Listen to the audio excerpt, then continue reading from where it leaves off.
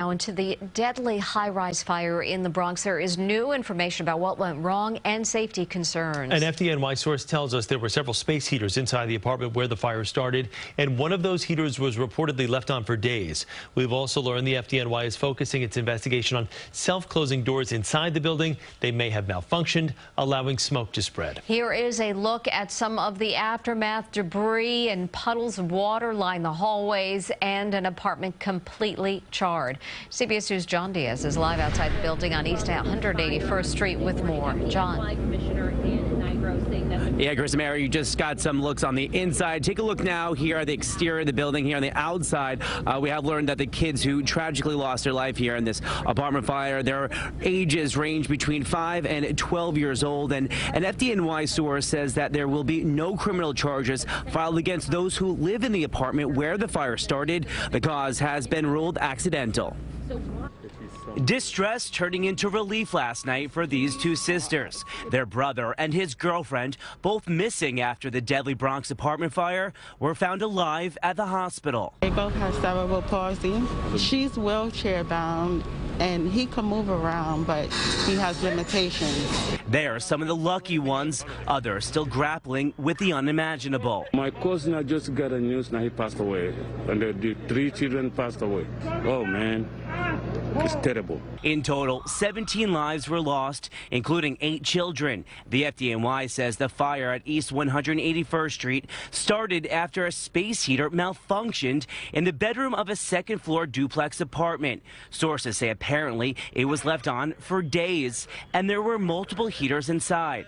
Congressman Richie Torres says even though there were reports of heat in this building, often inadequate heat and hot water leads to tenants resorting to space heaters. And even if the landlord was requiring the legal minimum, you know, what the law requires often falls short of what tenants need to remain warm in their apartments. Something a new task force will focus on as it explores fire safety nationwide. We owe it to the lives lost to ensure that their death is not in vain.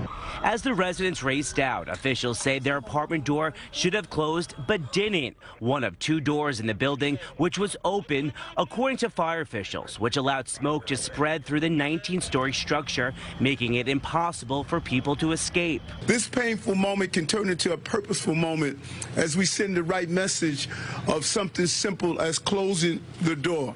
A spokesperson for the building owner says all its doors are self closing. According to city records, most recently, two violations were issued in 2017 and 2019, but were fixed. And now there are no open violations or complaints related to self-closing doors at the property. That's under investigation by FDNY, which is reiterating fire safety.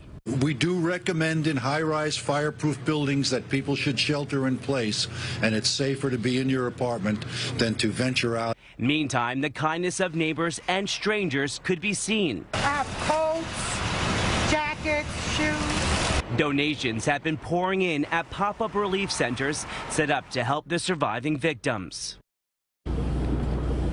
Now, so far, the American Red Cross says that it has housed roughly 38 families, and it has also provided uh, resources, you know, services to 50 families, including mental health resources. And we are told even more help, more resources, and financial assistance uh, will be announced sometime later on today. We're live this morning from the Fordham Heights section of the Bronx. John Dias, CBS 2 News. John, thank you.